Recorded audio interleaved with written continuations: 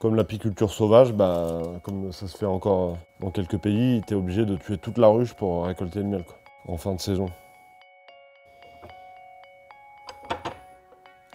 Et ça, ce système de cadre, ça fait une sorte de coupe transversale du nid à couvain, enfin de, la ruche. Tu consultes comme des espèces de, cartes électroniques, tu regardes, tu vois vraiment euh, comme une mozzarella que tu coupes et tu, peux voir un peu euh, comment la ruche se développe vraiment. C'est tout simple mais c'est tellement ingénieux.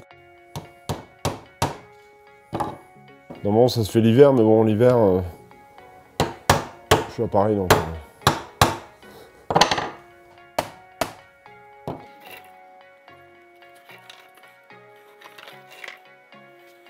Ça va inciser la cire.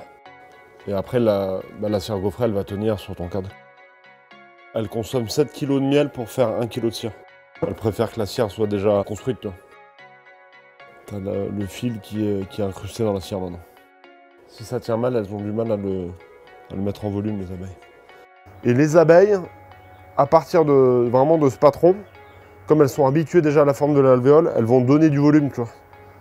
Et ça, c'est les abeilles qui mettent du volume par-dessus ça. C'est une, perfection de la nature, en fait, les alvéoles. Qui ont une forme parfaite pour euh, remplir le plus possible dans l'espace le plus réduit possible.